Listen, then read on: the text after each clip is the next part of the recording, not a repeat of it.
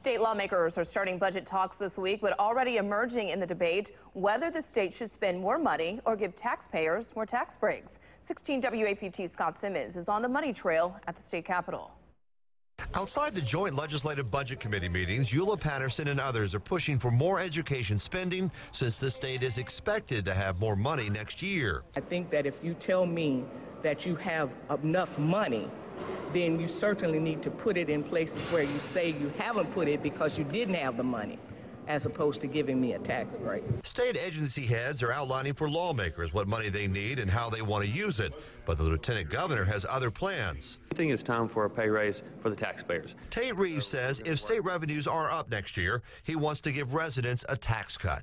Well, there's a lot of different possibilities, everything from uh, individual income taxes, corporate income taxes. We're looking also at the franchise tax. You just have to wait and see what the revenues are like. You know, there's no way to project what it's going to be like in March. A lukewarm response from his House counterpart and from Democrats who say Mississippi needs more education funding. Uh, that is a very popular position to take during an election year. But I think we have so many unmet needs in the state we're going to have to address. More than 20 school districts have joined a statewide lawsuit trying to force lawmakers to fully back an education funding formula that they claim has been underfunded. Reeves says the state has increased state education funding $250 million over the past three years. And if projections are up for next year, some of that money should be returned to residents.